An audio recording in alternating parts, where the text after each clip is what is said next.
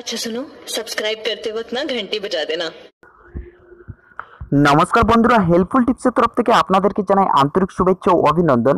বন্ধুরা, আপনারা যারা এইচএস দিয়েছেন, অর্থাৎ উচ্চ মাধ্যমিক দিয়েছেন, তাদের জন্য একটি বিগ ব্রেকিং আপডেট খবর হলো যে, আপনারা যারা মানে মনোভাব করে রেখেছেন যে প্রাইমারি শিক্ষকের যে ট্রেনিংটা হয়, অর্থাৎ ডিএল এড যে ট্রেনিংটা হয়, তার কিন্তু অনলাইনের আবেদন শুরু হয়ে গেছে।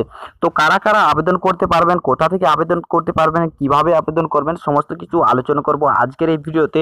এবং আবেদন করার শেষ তারিখ হচ্ছে ষোলো জুন দু হাজার উনিশ। তো ষোলো জুন দু হাজার উনিশের আগে কিন্তু আপনাদেরকে আবেদন করে নিতে হবে। তাই ভিডিওটি স্কিপ না করে শেষ পর্যন্ত দেখবেন এবং ভিডিওটি শুরু করার পূর্বে আপনাদের কাছে একটি ছোট্ট রিকোয়েস্ট আপনারা যারা এখনও পর্যন্ত আমাদের এই হেল্পফুল টিপস চ্যানেলটিকে সাবস্ক্রাইব করেনি তারা নিচের যে লাল রঙের সাবস্ক্রাইব বাটনটা রয়েছে, সেটা ক্লিক করে পাশে আসার নোটিফিকেশন ঘন্টিটি বাজিয়ে দিবেন।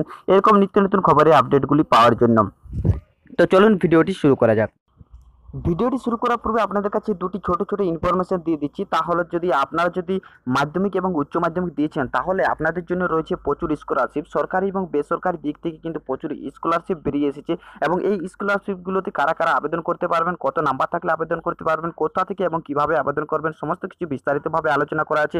আপনারা যদি স্কলারশিপগুলিতে আবেদন করতে চান, তাহলে অবশ্যই নিচে ডেসক্রিপশান যাবেন। ডেসক্রিপশন কিন্তু এই যে স্কলারশিপগুলো রয়েছে টোটাল আটটি স্কলারশিপ রয়েছে। এই আটটি স্কলারশিপ সম্বন্ধে আপনারা জেনে নেবেন জেনে নেবেন এবং প্রয়োজন হলে আপনারা সেখান থেকে আবেদন করে নেবেন।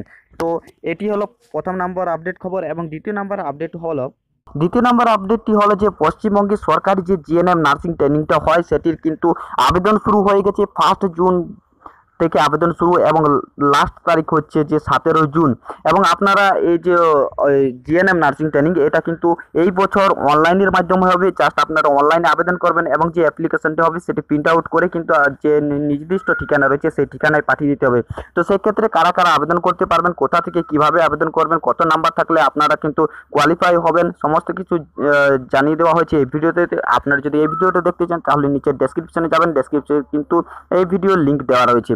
তো চলুন এখন যে ডিএডের যে ভিডিওটি সেটি সম্বন্ধে আপনাদেরকে বিস্তারিতভাবে জানিয়ে দিচ্ছি।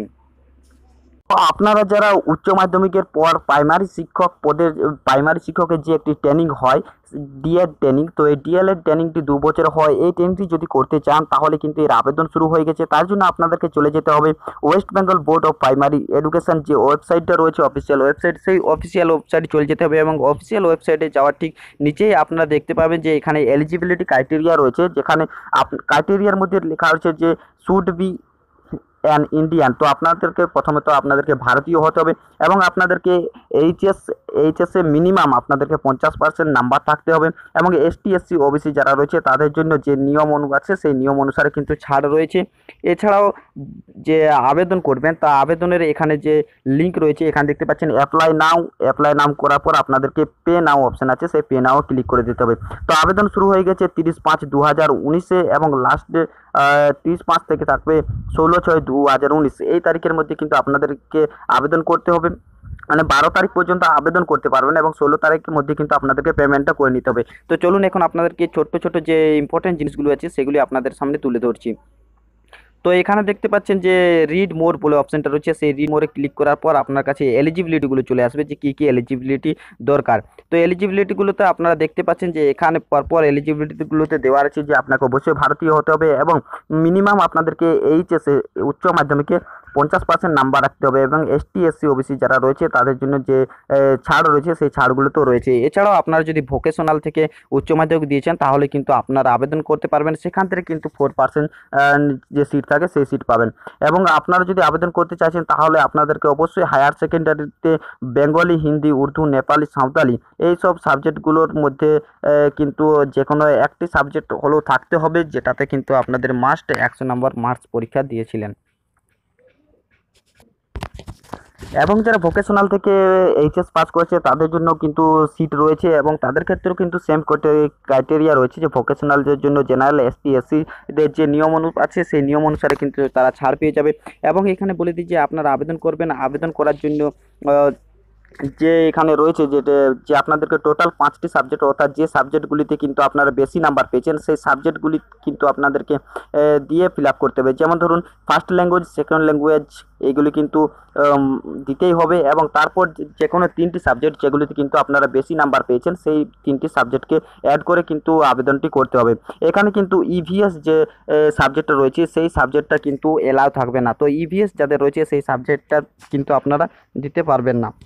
তারপর আপনারা এখানে আবেদন করে নেবেন। আবেদন করার পর এখানে যে আপনাদেরকে পেমেন্টটি করতে হবে, তো পেমেন্ট রয়েছে যে এখানে দিতে হবে যারা সবার জন্য রয়েছে তিনশো টাকা।